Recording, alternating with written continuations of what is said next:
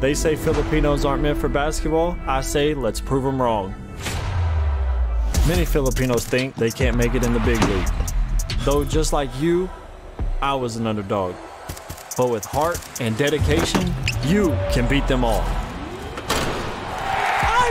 Experience the games like no other. Catch the action live with Arena Plus and get rewarded with excitement. Push your passion to play. Plus more With Arena Plus. Pangga,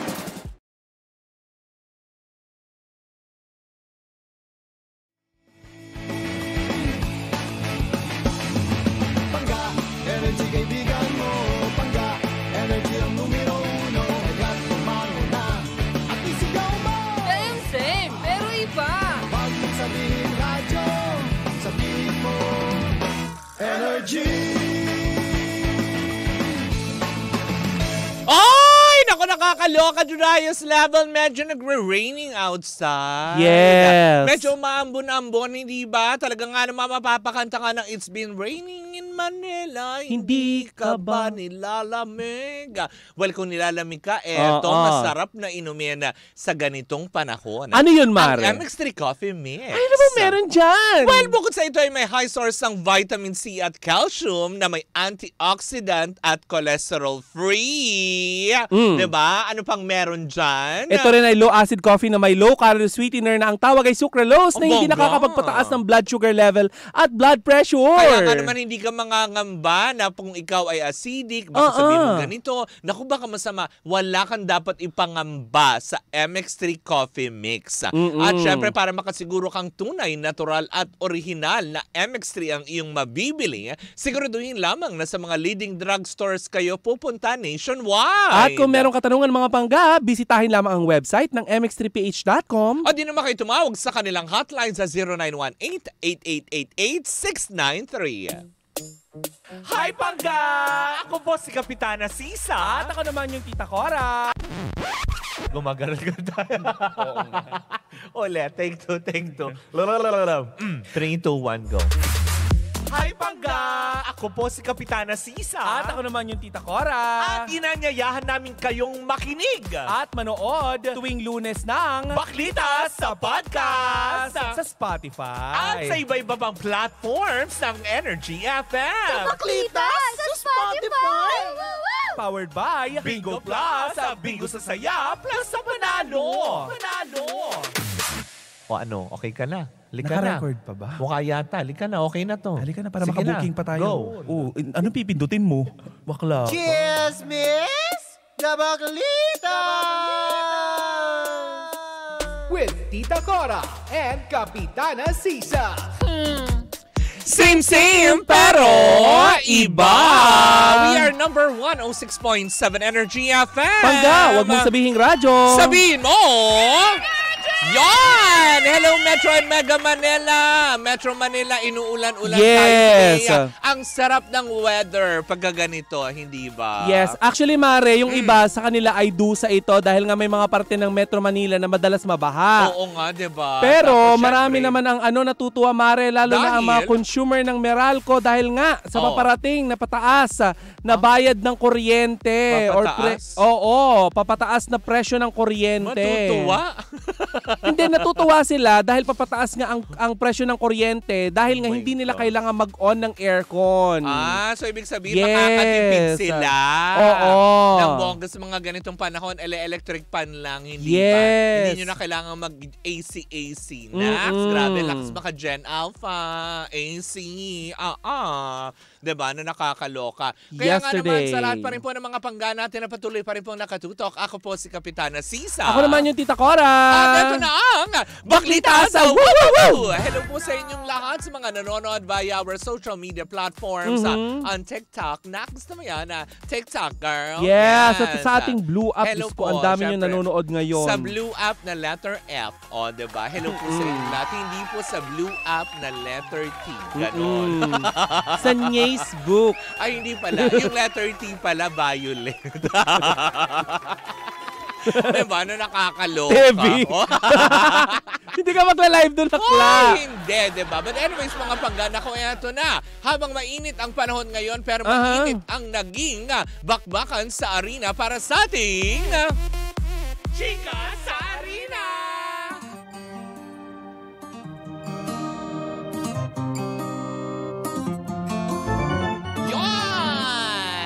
Yon! Diba? Siyempre, ang ating chika sa arena, atin pa rin sa atin ang Arena Plus, astig sa sports. Nako talaga nga naman, medyo mainit na ang tagpo sa 49th season Governors Cup ng PBA kagabi dahil meron na lang po silang ah, natitirang ah, last two games kung saan nga naman ang anim na tigo-grupo, actually, anim na kuponan sa bawat grupo Mm. ay matitrim down. Gusto mo yung nagtitrim Bakit na? man? yes! Of course! Nagtitrim down into four. Para ka Bakit parang nabuhayan ka doon? Sounds like lublob. Pansit, lublob. Ay! Di ba na nakakaloka? Dahil nga kagabi, medyo naging mainit ang tagpuan na. Ah! Tagpuan na. ang labanan ng koponan ng Rain or Shine versus NLEX kung saan tinalo by 9 points Mm. ng grupong Rain or Shine sa score na 123. Ang NLEX na nagtamo ng score na 114. Mm. Samantala sinundan naman ito ng pangalawang game kung saan dalawang puntos ang ipinalo pinanalo ng grupong Talk and Text uh, sa koponan ng Magnolia kung saan nga naman ang Talk and Text ay nagkamit uh, ng 84 points samantalang Magnolia ay 82. Samantalang standings naman ito, nako, nakikinita-kinita na natin. uh, Mm. Pero mukhang may habol pa din ang iba para sa pang-apat na puwesto. Bakit? Para sa Group A, nako mare, safe na safe na kung tawagin, Nax. Mm. Ang koponan ng Talk and Text na may 7 wins and 1 loss. At syempre, ang Mm. Meralco naman may 6 wins ah, at dalawang pagkatalo. Samantala, ang Magnolia at ang Converge, nako eto, parehas silang nagtamo ng apat na panalo at apat na pagkatalo. Mm. Makahabol kaya ang Northport, nako, sa last two games na kanilang gagawin para umakyat sa pang-apat na pwesto dahil currently sila ay nasa pang-limang pwesto na may tatlong panalo at limang talo. Samantala ang Terapirma naman ay mukhang magpa-practice game na lang. Charot. Sana. Char-char lang. Ah. Kasi nga, meron silang walong pagkatalo. Yun. Oo. At least maganda ito. Malay mo next season, di ba? Makabawi sila. Kaya pala nang sinabi ko, Mari, kanino ka pupusta? Oo, di ba? Hindi kasi parang nangyari yan, di ba? It's a Cinderella story. Like yung, di ba? Alam naman natin yung Converge. well, how will you say na parang Well, Cinderella story ito? a Cinderella story na nag 360 degrees ngayon. Oo. Na naging maganda ang laro ng Converge kumpara last season ng All Filipino Cups na alam naman natin na medyo Mm. nangulela talaga sila, Mm. hindi ba? Pero kahit pa paano ngayon, ibig sabihin lang nito ay na nat-train sila ng husto at talagang ah, napapanghawakan sila ng magaling na coach, di ba? Mm. Pero eto sa Group B naman, Mari. Sino coach nila? Si Coach Sar. Oo, Sarah Geronimo. Sasayaw sila ng tala, tala, tala. Oh. Sabay papasok ang G-Force. Hoy. Char. Ay, hindi ba pala? Magkakaiba na pala. Hindi pala. Hindi na. so, pasok pala ang ano, Philippine Harmonic Orchestra. Yes. Yan. Diba? Magka, ano pala sila? Magkakagalit na pala. Charot. hindi, hindi natin sure. Nag-usap na kayo si Teacher Jorsa tsaka si ano, Sarah Geronimo. Sana ma-okay na, di ba? Well, anyway, sa Group B, eto na. Di ba? Nangunguna pa din kasabay ng Rain or Shine dahil mukhang Mm. uh, safe side na sila para sa top 4 na uusad sa quarterfinals after ng dalawang laro pa. Di ba? Kung saan parehas na may anim na panalo at dalawang pagkatalo. Punga pangatlo sa puwesto ang Hinebra San Miguel na may limang panalo at tatlong talo. Samantala naman ang NLEX posible pang malaglag. Dahil? Kung sakali naman na magpunyagi itong Black Waters ah, na maipanalo ang kanilang mga next game dahil parehas silang may tatlong panalo at limang talo. Samantalang ang grupong Phoenix naman na, well, pwede pa naman din kasi last two games, malay mo makahabol, 'di ba? Mm. Meron na silang isang panalo at isang talo. Panalo. Ma- masusubaybayan natin yan mamayang gabi dahil magkakaroon sila ng laban. Ang grupong Phoenix against Ginebra San Miguel. Papayagang kaya ng Ginebra na makauwi ng panalo ang Phoenix o tuluyan nilang tatapusin ito para ma-secure nila ang kanilang pangatlong pwesto para sa top 4 na uusad sa quarterfinals ah, para sa Group B section. Next. Mm. At syempre, ang tabayanan din natin yan mamayang gabi, ang kupunan ng Meralco versus Converge. Nako, eto pala, yun ang sinasabi ko, oh, 'di ba? Nako, maipanalo kaya ng Converge ito, tuluyan silang malalaglag sa panglimang pwesto at hindi na makakasaling muli. Well, malalaman natin yan mamayang gabi sa Ninoy Aquino Stadium para sa 49th season ng Governor's Cup ng PBA. Pasok, Tita Cora! Samantala Mare, sa round 6 ng 45th FIDE Chess Olympiad Aha. sa Budapest, Hungary, wagi ang Philippine women's team Woo! kontra Bolivia. O, di ba? Panalo tayo against Bolivia. Yes! Ayan Mare, sa score na 3-1, Hmm. Oh. hindi naman pinalad ang ating men's team against Armenia Aha. na may score na 1.5 at 2.5. Oh. Isa pa sa pinagbubunyi ngayon ng ating bansa Mare Mhm. ay lalaban sa China 9 Balls Open sina 2023 World 9 Balls Champion Taray. Rubilin Amit at 2023 World 10 Ball Champion Cheska Centino Ay. sa Shanghai, China. Fairness! Yes. Ang daming balls. Correct. Nine. At Mare, hindi na bago kina Rubilin at Cheska ang ah, labanan Aha. sa title dahil silang dalawa ay ah, mga world champion. Ru- World World champion. Oo. Ayan sa SEA Games. Tama. At ilang beses na din tumari ha Sa na sila ng bilyar Yes. yan, diba? ah, ilang beses na sila naglaban at ilang beses na rin sila nagkampe. Kaya naman, good Oo. luck sa ating mga kababayan. Natural, di ba? Magkampihan sila. Dadalawa na nga lang sila, mag-away pa sila. Correct. Mag-intrigahan pa ba sila? Be- pero doon ako naloka, Mare. Nanalo tayo against Bolivia. Correct. Ikaw ba, Mabuhay. ikaw ba may mga ano ka, mahilig ka din ba sa mga taga Bolivia? Oo naman, Mm, di ba? may mga kaibigan Pero syempre, mas favorite ko naman ngayon ang mga atletang Pilipino ngayon na Oo. talaga namamayagpag sa larangan ng sports. Oo. Di ba? Parang ito na ibabalita natin ah, Mm-mm. na ang Arena Plus ay tinanghal bilang Best Sportsbook Operator Aha. for 2024 ng Sigma Asia Awards. Ah, Kaastig natin dyan ang ating mga Pinoy basketball sensation sa larangan or sa mundo ng PBA ah, na si Scotty Thompson na may laro mamayang gabi. Correct. Ang Barangay Ginebra, di ba? Mm-mm. At syempre, ang pride na umariba. Sa mundo naman ng NBA, ang phenomenal basketball film star na si Jordan Clarkson. At syempre, ang ating bagong endorser na si Austin Taylor Reed. Correct, Mare. Ayan, oh, napakagwapo. Nakikita natin. Oo nga. Diba?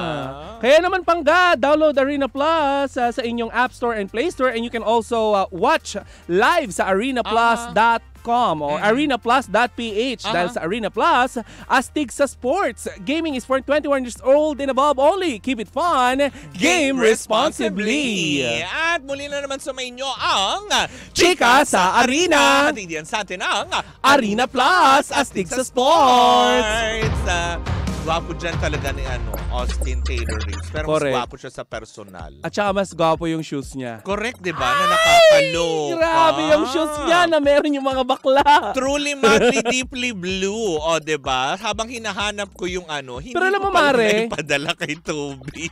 Yung alin?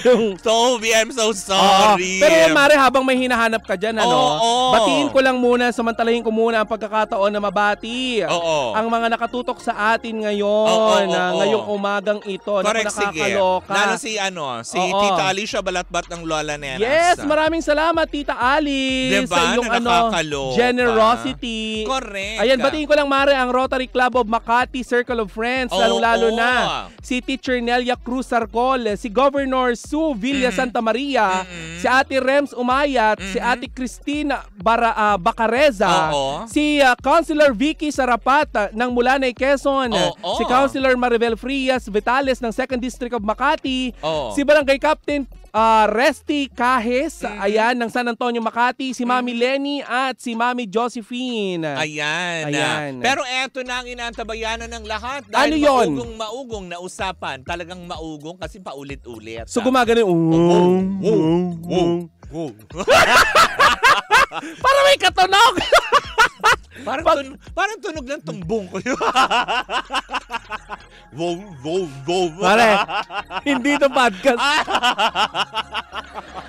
Pero eto na nga, maugong na pinag-uusapan ngayon at pilit na ginagawa ng issue dahil nga sa tinaguri ang pag-iiwasan ng dalawang host ng Showtime ah, na sina Meme Vice Ganda at Ann Curtis. Ay, nyokit. Oo, 'di ba? Kasi ini-issue nga sila dahil last Friday yata nung bumalik si Ann Curtis para mag-show ng Showtime, wala si Meme. Hala. Pero nagkita sila ulit ng Monday. Mare, mare, andito ako. Andito diba? ako. Hindi. Yun. Hindi. Si Nakikita kita. Dalaw, dalaw Kaya yung... kong mag-ano. Alam po, kirot ka. Hoy! Ay, si, si ano yung influencer. Sorry. Sorry po. Okay. Kung ano-ano kasi. Oh. Yan. So, eto na nga, di ba, Mare? So, dahil nung Monday, Oh. na nagbalik at nagkasama itong si Meme Vice. So, parang hindi maiwasan na kasi di ba may mga moments na wala si Anna. Ngayon bumalik na si Ann, si Meme Vice naman daw ngayon ang mag-out muna Oh. sa showtime. Diba? Mm. So parang iniintriga sila na parang sinasabi na meron bang tampuhan tong dalawang to na hindi Mm-mm. nalalaman ng madlang people? Ah, Or Oo. baka nagiging professional lang sila kaya alam mo yon na nagkikita, nagsasama. Pero eto mariin ang pinabulaanan ng ating mga nakausap na malapit kay Meme Vice. Mm. Wala daw pong nagaganap na tampuhan sa dalawang host ah, at magkaibigan in real life talaga. Talaga? Between Ann Curtis and Vice Ganda. Mm. Sa kadahilan ng... ah, Kadahilan ng ano? Sa kadahilan ng may gwapong pumasok dito na may pangalang Romel Del Rosario. Wag na, kasal na yan. Oo. O, tuloy mo. Di masyadong ano yan. kinasal kay Lindsay. Oo, hindi na. Untouchable na yan. Tam. Ay, pwede pa din. Hindi! Huwag kang snake, ha? Snake is there na. Eto na nga. Oh. Kasi nga, kaya nga naman daw pala na medyo mag-out, hindi dahil sa meron silang problema or nag-iwasan or may problema. Mhm. Mag-out si Meme Vice sa katunayan kahapon ay nag-last day ng taping Hmm. ng ilang mga segments para sa Showtime si Meme Vice Ganda. Dahil ilang linggo or siguro after this week ay magiging busy na siya in preparation para sa apat na shows na kanyang gagawin sa United States of America. May concert ang meme kaya medyo parang ilang buwan natin siyang hindi makik... Eh, hindi naman buwan. Siguro almost one month. ah. Dahil Oo. katatapos lang din pala din niya. Kumaga parang siguro pinilit ng tapusin dahil nga yung kanyang mga commitments, lalo pa dito sa kanyang concert na gagawin sa US of A, Mm-mm. ay talaga nga naman magiging very busy sila. Kaya natapos na daw yung kanilang entry na may breadwinner para sa 50th Metro Manila Film Festival. Oo. Tapos na na na-shoot yun. So ngayon, magiging busy naman siya para sa kanyang upcoming concert uh, dyan sa Amerika, dun sa mga nakatutok po sa atin, Mm. ang tabayanan nyo. ba Parang four-leg concert uh, Oo. yung gagawin uh, ni Vice Ganda sa Amerika. Kasi man, hindi lang isang Oo. Isang state yan eh. 'Di ba? Mm-mm. Madami. Palipat-lipat yan sila. Tama, 'di ba? Na nakakaloka. Pero hindi naman Ayan. hindi naman 'yung tipong para sabihin mo na magliwali o kay may problema Mm-mm. sila ni Ana. Kung nagkataon lang siguro na kasi 'di ba, when Anne is back, Meme is out naman ngayon. Kasi Oo. 'di ba, halos hindi magtugma-tugma talaga ang kanilang mga schedules. Lalo pat si Anne naman very busy dun sa Mm-mm. It's Okay Not to Be Okay na teleserye ang kanilang gagawin. Yung Korean adaptation yata 'yon with Carlo Aquino and Joshua Garcia. 'Di ba? Yung mga ganyan. So, 'di ba, pasulpot-sulpot, 'di ba? Ang tabayanan. Actually, mga may nagbiro pa nga mga fanay doon, Mami. Ano? Na parang tipong, ah, thank you so much, Ann, for guesting. Mm, kasi nga pasulpot-sulpot siya. Pero mare, eto diba? ah, maisingit ko lang kasi ang ating mga pangga Oo. eh na- nag-o-observe nga. Oo. 'Di ba dahil kasabay ng pag-ere ng Baklitas pagkatapos Oo. ng ano Baklitas mamaya Oo. showtime na. True. Pero eto na nga mare, may Oo. nagsabi sa akin. Ah, sino yan? Napapangalanan nating DDR. Ah, Ayan, ayan. sa ano, nag-message siya sa akin. Nasabi niya, Tita Cora, mukhang Si may ano issue nga. Rodrigo Dowa Duterte. Hindi. Woo, very political. So yun na nga. DDR. Oo. Ang Okay. sabi dito, Tita Cora, mukhang may issue nga si Vice at saka si Mem ay tsaka si Ann Curtis. Hmm. Ah, Ito'y bunsod ng nangyari especially for you. Hindi naman nilinaw kung ano yung issue nila Hmm. dito sa ano, dito sa nangyari sa especially for you. Pero Hmm. yun daw ang ah, ano, ang dahilan. Oh. Ngayon, op- open naman ang ating programa kung gusto Tama. nilang linawin. Ano ba yung Ah, naging issue? Well, gaya nga na, na, na minsan natin nakausap si Meme Vice, Mm. kung may issue man yan, wala siyang gustong klaruhin. Yes. Lalo na may mga upcoming shows. Diba? Tapos, diba, may mga papalapit ng Metro Manila Mm-mm. Film Fest. ah. Pero yun na nga, as in talagang siguro, da- ano lang, isa yan sa mga issue na ipinupukol sa kanila ngayon. ah. Pero isa sa mga malalapit nga din talaga kay Meme na sinasabing Mm. busy schedule lang talaga. Dahil kita naman last Monday nung Mm. nagsama sila, parang na-miss talaga nilang isa't isa. Lalo pa dun sa isang segment na ginagawa nila na kung saan magkakampi pa sila. Yes. O, diba? Eto pa, nakakaloka. Ano? Kagabi, naliligo ako. Ay, ah, May isang lalaking good. nagngangalang iyo Oh. na akala ko kung ano na nangyari. Be, Ano? be, Pupunta siya sa CR. Ay, pinasok ka? Hindi ako pinasok ah, sa okay. CR. Pagpunta niya sa Sabi mo CR, kasi may tumatawa. akala ko kung ano yung napaka-importanting bagay. Alam mo kung ano tatanungin niya? Oo. Naghiwalay na ba si si Ayon at saka si Vice Ganda? Hindi. Sabi ko, ah. hindi. Oo, Tapos tinignan ko, may Oo. mga nagkalat na namang quote card and fake Ah. news. Na ito daw, di umano si Meme Vice Ganda at Oo. saka si Ayon, eh naghiwalay na. Paano maghiwalay? Kasama nga niya sa Amerika, kaya mawawala din pala sa Showtime, Mare. Si MC tsaka si Lassie. Yes. Diba? Tapos si Ayon mawawala din, tsaka siya, dahil kaparte din yata siya ng show na gagawin sa Amerika. Yes. So ano naghiwalay doon? Wala. At What according kind of sa ating friend Mare ha, Oo. sa Amerika ay maganda daw ang ticket selling ngayon. Truly, Lynn. Diba? Ng show ni Meme Vice Ganda. Hindi daw ito kagaya nung kay J-Lo na nilalangaw. Oo. O, diba? Hindi totoo, diba? Yes. Marami nagkalat sa internet, yung mga concert niya kinakancel. At Mari, kung maaalala mo, last year din ay naging, ano, naging ah, parang ah, ah, makontrobersyal. Yan, controversial yung naging concert ni Meme Vice Ganda sa Mm. Amerika. Matapos nga, di ba, na ma-issue-issue. Oo, diba yung parang may Si- singer pa daw. Si Guard na- Garcia, Oo, yung diba? binugaw di umano. Correct. ah. Oo. Diba yung mga ganong aspeto? Pero ibig sabihin lang nito, diba, na yun nga, para sa sa issue na kaklaruhin natin, yung patungkol doon na sa hiwalayang Meme Vice at uh, kumaga Ayon Perez, wala pong katotohanan Wala. yun. Dahil yun po ay prediction lamang ah, Mm-mm. ng ah, isa nating kasamahan sa LGBT na si Jay Costura, diba? Na na maghihiwalay na Oo, daw. na parang yun naman ang prediction niya, na parang tipong ganun. Prediction is prediction. Wag po muna natin pangunahan ng mga bagay-bagay na wala pa naman din katiyakan. Next, grabe, Yes. nahuli ko yon O, di ba? Nang OA. Makahuli ng salita, o, di ba, ng bongga. Kaya nga naman, doon sa mga nangiintriga kay Vice at Ah. kay Ana, wala pong katotohanan nyo. Wag na po natin bigyan ng kulay ang Yes. hindi nila pagtatagpo-tagpo. Dahil magiging, maging, ano kung maging schedule nila, magiging ganun pa rin yan for the next coming months. ah. Lalo pa, ito yung pelikula ni Meme, magpa-promote din siya kahit papaano ng pelikula, di ba? So, magiging busy. Si Ann magiging busy sa kanyang teleserye na malapit na rin natin yung mapanood. Eh, hindi ba? Ng bongga. Naku, bago pa ba sa iyan, Mari, ako nga dito kapag nag-leave lang ako, sabi nila may issue daw Ay, tayo. oo, ay, oo, di ba naman ganun? Tsaka hindi, sinasabi ko naman Nag-iiwasan daw na, tayo. Oo, na, di, sinililinaw ko naman eh, na may meet and greet ka sa With the doktor doctor. Mo, diba? One-on-one meet and greet with the doctor. Doktor, o kaya naman. Minsan kasi guys, napapadala s- ang pagpapa-pop smear ko. oh, talaga ba? Mm, Akala because I'm the pop smear royalty. Akala ko tinatatakan ka. Ganun. Nakakita ka na ba ng fishbowl na lumilipad? Akala ko tinatatakan ka ng 100% Hindi. pure beef. Ganon. Ano? Nahuli yung kamay ko. Yun yung nahuli. Ay, paalam na tayo muna. Hindi kita mabato on air. But anyways, mga kagaya mo muna ang ating unang chika for today's video. Sa aming pagbabalik, Aha. isang umating kabong chikahan na naman ng dala-dala ng dalawang bakla. Uh-uh. Muli po ako po si Kapitana Sisa. At ako naman yung tita Cora. And we are still ah, Same, same, pero iba. We are number 106.7 Energy FM. Panggawag mo sabihing radyo. Sabihin mo,